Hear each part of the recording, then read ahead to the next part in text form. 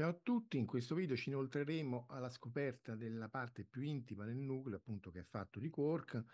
Eh, in realtà ne abbiamo già parlato in qualche video precedente quando abbiamo parlato del glue ball, quindi in realtà qui eh, ripartiamo un po' dalle basi per vedere appunto perché i nuclei sono fatti, i nucleoni e quindi i nuclei e quindi la materia è fatta di quark, perché sono tre, perché sono tra virgolette colorati e così via. Un'altra delle cose da dire, si dice quark o quark, in realtà appunto Gell-Mann eh, lo prese dalla Finnegan's Wake di Joyce, dove fa rima con quark, quindi ha la A, con la A proprio, però poi lui in alcune sue memorie dice no, ma in realtà io volevo che si pronunciasse con la O, mi sono arrampicato sugli specchi per trovare un motivo per cui sia ehm, pronunciabile con la O e quindi quark. Fate voi, io lo userò intercambiabilmente tutte e due a seconda di come viene in quel momento. L'intima struttura del nucleo forse, ma insomma probabilmente sotto il quark, i quark non c'è nulla, così come sotto i leptoni non c'è nulla. Perché i quark? Perché a un certo punto eh, la, la, meccanica quantistica aveva messo insieme un po' tutta eh, la descrizione del, del, mondo, quindi anche la descrizione dell'atomo, tantissimi atomi, tutta la tavola periodica di Mendeleev era in realtà riconducibile ai soli protoni, neutroni ed elettroni. Dopo un po' di studi con eh, i primi acceleratori, le prime particelle cariche ad alta energia, si era capito che il nucleo era massivo e molto piccolo e composto da quelli che poi verremo, verranno chiamati protoni e neutroni, e, e, però le dimensioni, la grandezza era data dagli orbitali atomici degli, degli elettroni. Fino a qui tutto bene, però poi cominciano a spuntare fuori altre particelle, serviva una particella che tenesse insieme il nucleo, questa è una lista di, eh, di, di, di, hadroni che quindi con, sono, adesso lo sappiamo, composti di quark, questo celato malca, in maniera mh, mm, pessima da questo riquadro qua. Questa è solo una lista di alcuni di quei soggetti qui, c'erano sempre, sempre di più e a quel punto non poteva essere che il, la fisica che predilige cose semplici a, avesse tutto questo zoo, veniva chiamato lo zoo delle particelle elementari, tante, tante, tra, troppe particelle, non era credibile.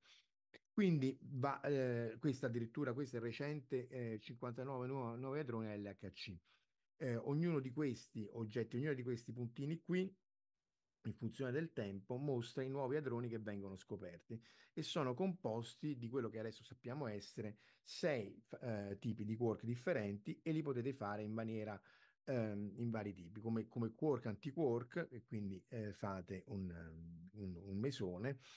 e, e quindi eh, spin intero, oppure a 3 o anche a 4 o anche a 5, eccoli qua, vedete, charm, anti-charm, quark, quark, quark, ci sono queste qui. Eh, non sono vere e proprie particelle, in realtà vengono chiamate risonanze perché sono talmente pesanti e, e che decadono in un tempo eh, rapidissimo, tanto più che no, proprio perché il tempo in cui decadono realmente è rapido, non si può stabilire la massa proprio in virtù del principio di indeterminazione di Heisenberg che dice che l'incertezza tra l'energia e il tempo, in questo caso di decadimento, deve essere maggiore di H tagliato. Comunque sia, questi sono solo 59 nuovi oggetti scoperti all'HC e quindi insomma non poteva essere. Anche se questo è un grafico recente, in qualche maniera riprende l'idea che ci si ritrovava con troppe, troppe particelle per, per, perché queste potessero essere le vere particelle elementari. Questo l'abbiamo visto tante volte, è il, eh, infatti è il quadro delle particelle elementari attuali, queste è quelle stesse in cui sono mostrati anche gli antiparti, le antiparticelle, cambia poco. Per tutta una serie di simmetrie di cui abbiamo parlato più volte, se hai una carica elettrica deve avere anche la tua antiparticella. Il motivo fondamentale è che devi conservare l'energia in maniera relativistica e quindi Dirac dice guarda se lo devi fare devi, non lo puoi fare con i numeri ti servono almeno quattro numeri almeno una matrice e quindi ecco qua così debotto senza senso anche le antiparticelle ma non è questo l'argomento di oggi l'argomento di oggi è che il fatto che appunto abbiamo sei quark i nomi ovviamente sono completamente arbitrari up e down sono gli unici che hanno un vago senso, su e giù, perché in realtà questi hanno, una volta che sono nei nucleoni, più o meno la stessa massa, sono molto simili quindi si, pen si pensava che fossero, eh, potessero essere come lo spin dell'elettrone, che può essere diretto verso l'alto e verso il basso. Questo viene chiamato isospin, cioè una, una cosa analoga allo spin che eh, in qualche maniera descrive non si può parlare di rotazione, ma diciamo la rotazione del, dell'elettrone se in verso orario o del, anche del protone o in verso antiorario, qui eh, se è rivolto verso l'alto, ma un alto virtuale di un altro spazio del, del, appunto dell'isospin, ho un quark up, eh, se è rivolto verso il basso un quark down e in qualche maniera mettevo insieme eh, i, tutti i nucleoni. Dopodiché però poi vengono fuori anche questi altri, Charm, Strange, Top e Bottom, questi sono molto molto pesanti, no, questi qui parliamo di 2 MeV, qui 175 GeV, quindi 173.000 MeV, e a loro volta sono tutti molto più pesanti dei, dei leptoni. L'unico, l'unico dei tre, perché poi i neutrini sono, non si sa quant'è la massa, è molto molto piccolo, però l'elettrone ha una massa che è circa un due millesimo di quella di tre quark più tutti i cloni in so, in, insieme, quindi un due millesimo, uno su 1850 la massa del, del protone, il muone è 200 volte più grande del, dell'elettrone e il tau è molto più pesante, un GeV, un GeV e mezzo, ma insomma um, è, è, molto, uh, molto più leggero, o meglio, c'è la stessa massa del charm e più leggero del, bottom, del top e bottom. Questo è quello più recente scoperto, l'ultimo, si presume, si spera, anche perché 3 e 3, anche qua abbiamo detto tante volte, non si capisce perché debbano essere 3 e 3, ma tant'è, 3 e 3. E, il più, più pesante è scoperto al Fermi nel 95, quindi uh, in, in, tempi relativamente recenti. E I quark sono tenuti insieme dai gluoni, anche questo l'avevamo visto nel video precedente in cui i gluoni da soli possono anche tenersi insieme con una palla di stringhe una baracca. Le interazioni deboli che però mutano un quark in un altro e fanno i decadimenti nucleari sono queste tre, il fotone sono quelle elettromagnetiche e vissero tutti felici e contenti, soprattutto dopo che venne fuori l'Higgs eh, notate di nuovo che la massa del top è superiore anche a quella del famigerato X, quindi insomma un oggetto estremamente, estremamente pesante e anche qua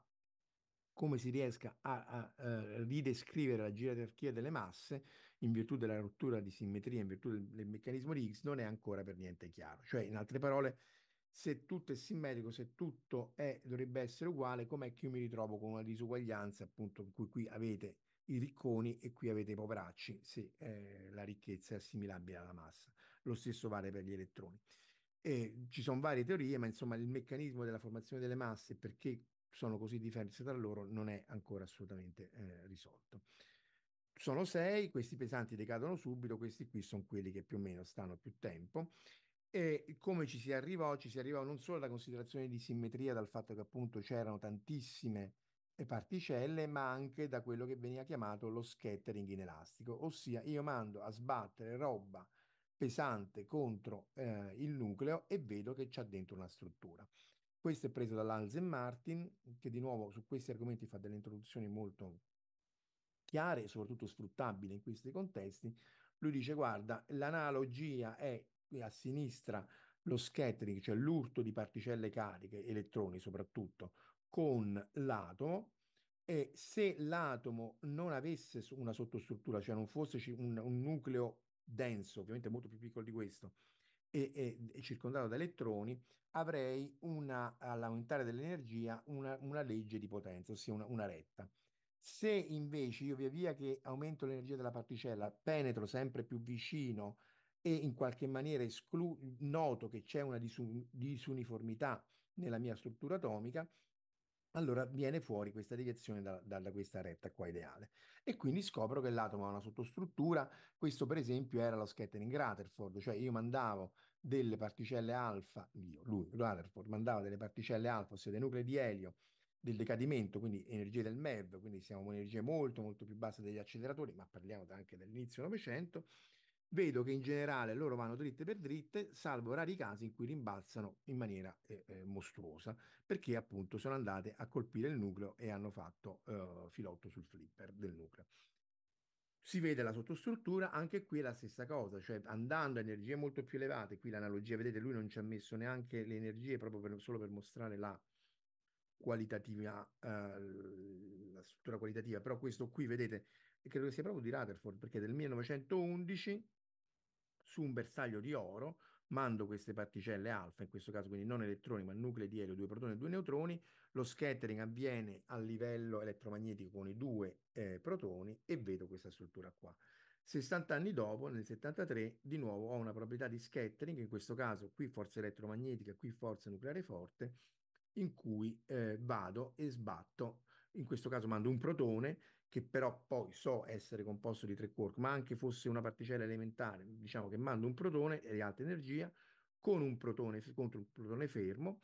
ho una probabilità di interazione, qui si vede male, ma questa alfa ha una S che vuol dire l'interazione eh, avviene seguendo la forza forte, qui è la forza elettromagnetica, anche qua deliri senza fine perché la forza forte poi è difficile da rinormalizzare, ma comunque sia, qui si scambiano un famigerato gluone, qui si scambiano un elettrone, ma anche qui vedo che il protone fermo mio, contro cui ho mandato un protone altissima energia, ha una sottostruttura perché mi devia dalla retta che io avevo eh, ipotizzato nel caso che il protone fosse un oggetto uniforme come ad esempio l'elettrone. E quindi in analogia con questo e, e, e, anche appunto per lo zoo delle particelle si comincia a dire vabbè ragazzi qua non c'è niente da fare, il protone, il neutrone e anche i mesoni, i pai, tutta quella zoologia che era venuta fuori hanno una sottostruttura. Una sottostruttura che poi appunto è quella fatta di quark, appunto se vogliamo andare a prendere la, la, il grafico di prima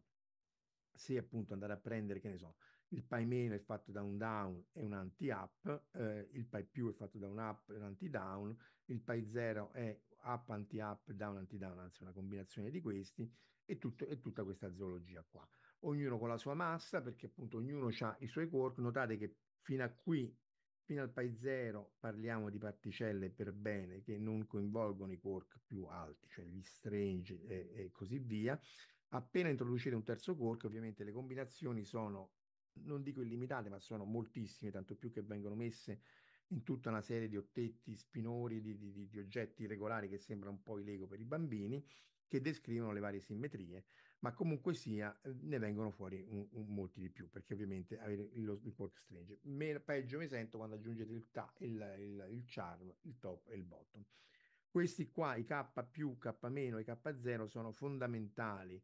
per la violazione di CP, ma ne parleremo un'altra volta, altrimenti ehm, non si finisce più. Ed è tra l'altro un argomento complicatissimo, quindi il K0 ricordatevi perché eh, sono importantissimi. Ognuno ha la sua massa, la massa è determinata sia dagli, dagli, dai quark che, che, costituiscono l'adrone, sia però dai, dai gluoni che in realtà costituiscono il grosso della massa di questi oggetti qua, possono avere spin, questi qui sono tutti a spin intero, e a differenza appunto del protone e del neutrone che sono, vedete questi sono a spin intero perché sono a coppie di due tra l'altro e sono mesoni, mentre il protone e il neutrone sono a 3 a 3 e hanno spin semi-intero e sono fermioni e lo stesso vale per, per l'isospin. C'è tantissima matematica dietro e quindi possiamo solo cominciare ad, ad addentrarci, però col protone si riesce a fare abbastanza semplicemente.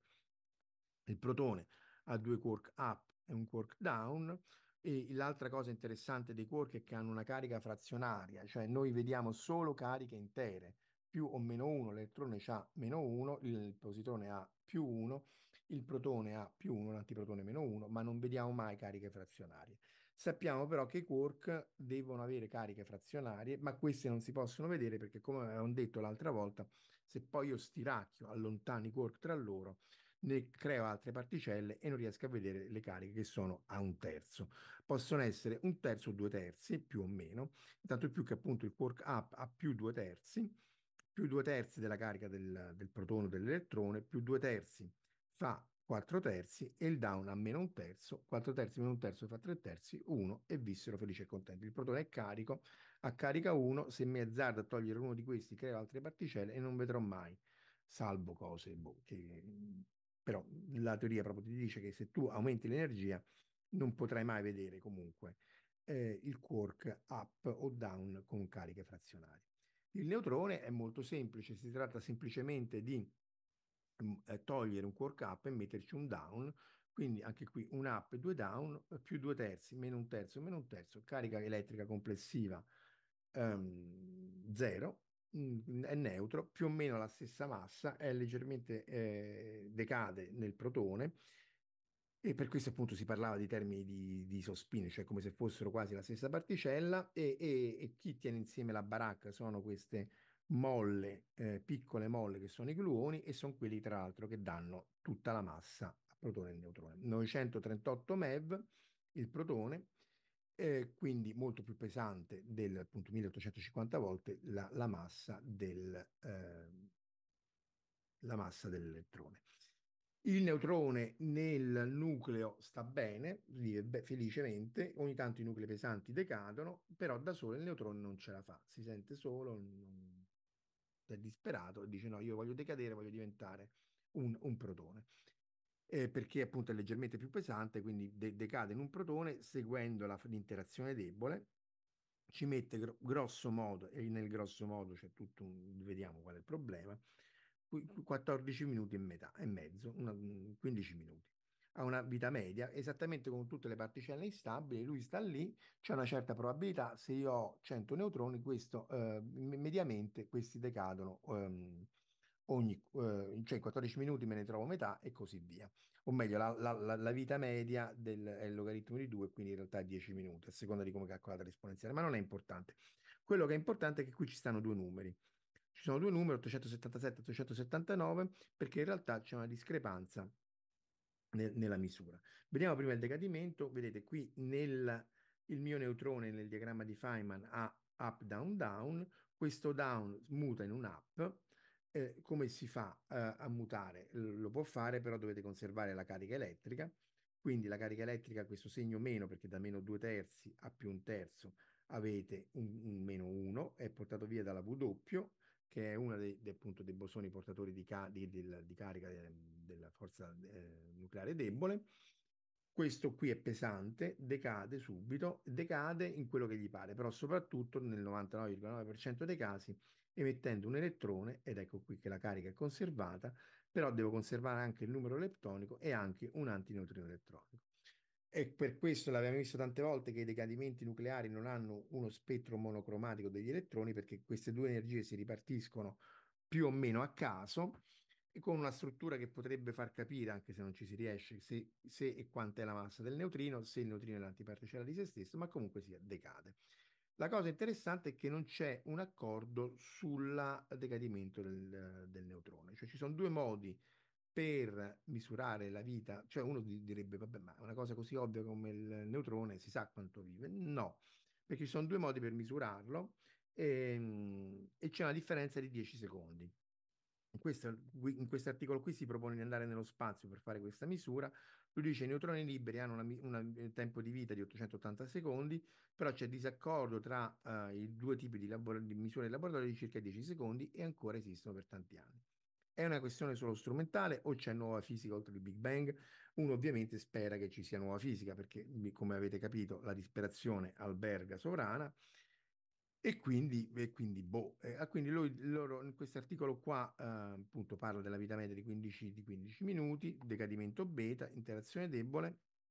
Ci sono due tipi di, di misure, con un fascio di particelle e, e imbottigliati. Quelli su fascio in, eh, vuol dire che tu prendi i protoni ehm, o gli elettroni che escono dal decadimento beta, appunto perché voi immagazzinate, fate dei fasci di particelle di neutroni freddi di bassa energia, ad alta energia decadono più lenti per il motivo di Lorentz,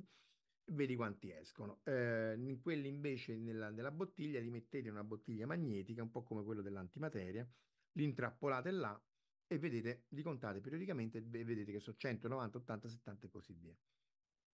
Tutti e due gli esperimenti hanno errori molto precisi, cioè dell'1%, quindi la misura è precisa, però sono in disaccordo. Eh, il fascio da 888 più o meno 2 secondi e la bottiglia da 879 più o meno 0,5 secondi, con appunto un disaccordo di 8 secondi e mezzo, che è 5 sigma, le famigerate 5 sigma per dire guardate c'è una scoperta, guardate c'è qualche cosa.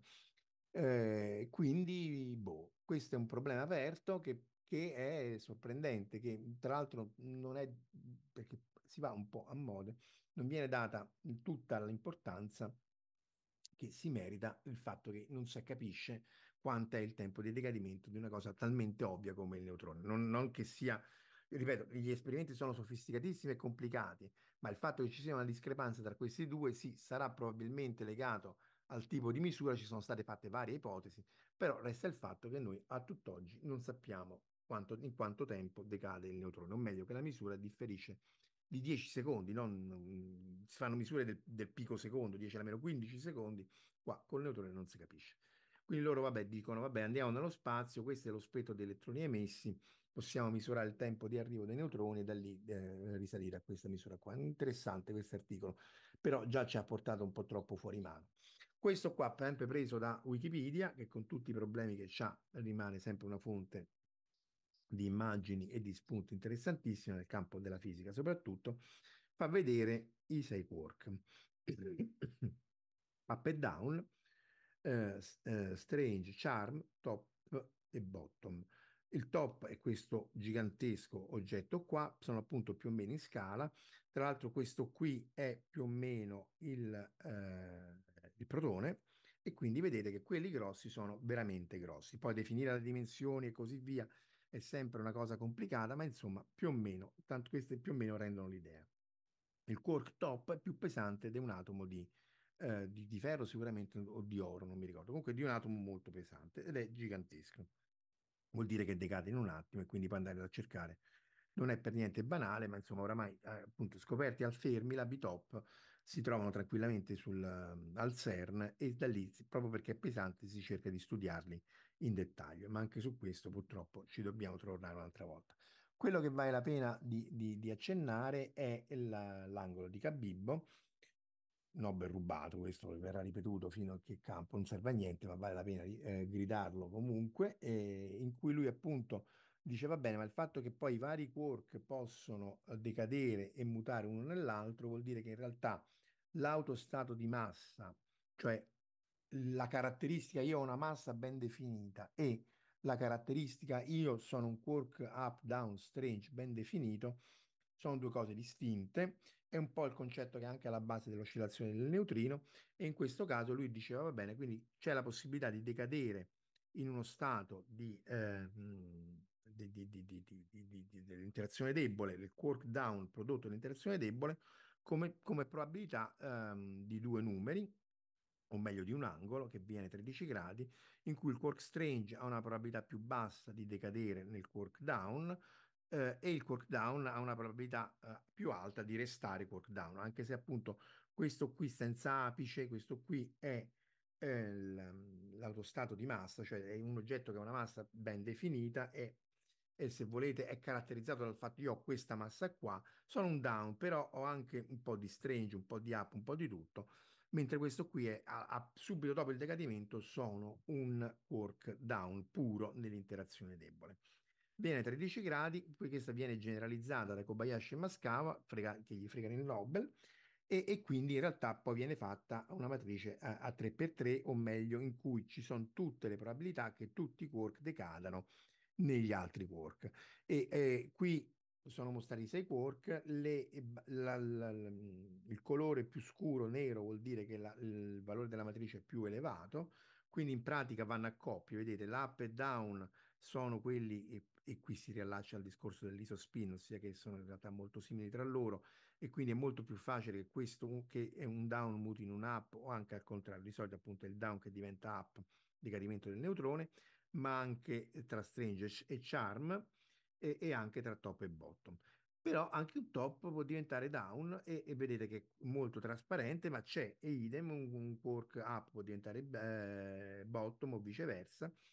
Sono più scure ovviamente quelle più vicine, quindi anche questi qu quattro qua è più probabile appunto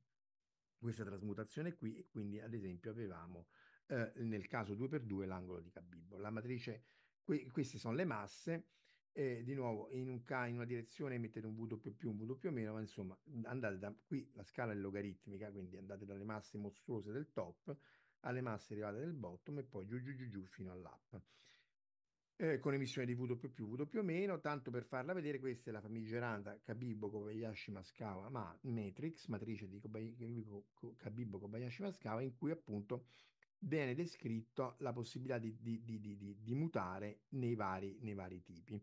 E, e, in questo caso per Downs, Strange e Bottom, con ognuno di questi elementi qui che è mostrato qui, con la probabilità appunto di andare da up a down, da, da strange eh, a down, quello che volete. Vedete però che i termini sulla diagonale sono eh, vicini a 1 non proprio 1, questo addirittura è un po' più di 1 perché è un errore sperimentale, probabilmente rientra nell'errore, sono vicini a 1, mentre quelli fuori della diagonale sono molto più bassi e, e, e, e niente, in questa maniera avete la probabilità appunto di, di mutarvi da, da, da, da, strange a beauty a down e così via, ad up e così via. La cosa interessante è che però se la, questa somma qui al quadrato che vi dà la probabilità, il quadrato della somma è il quadrato che vi dà la probabilità di transizione, ehm, la somma non fa 1. Cioè in realtà se andate a prendere ad esempio la prima riga e fate quadrati, la somma dei quadrati dovrebbe fare 1, ma fa quasi 1.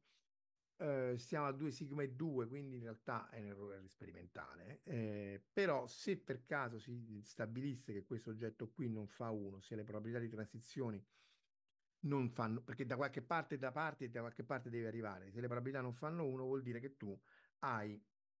un... Um,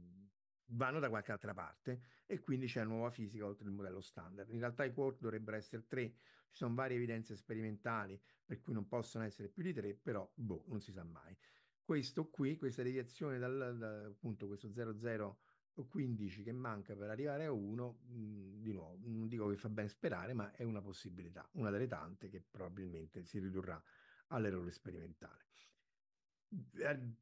L'altra caratteristica dei quark è il colore, il colore viene fuori, in pratica è, ovviamente non sono colorati, è un altro numero quantico, è un'altra caratteristica, è un altro potere speciale dei quark, il potere speciale del notaio di Boris,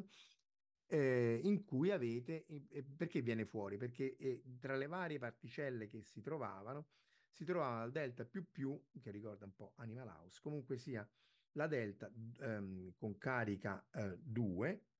perché è fatta da tre quark up. 2 terzi, 2 terzi, 2 terzi fa 2. Oppure la simmetrica, l'antiparticella, la delta, la delta meno meno, no, questa è la delta e basta,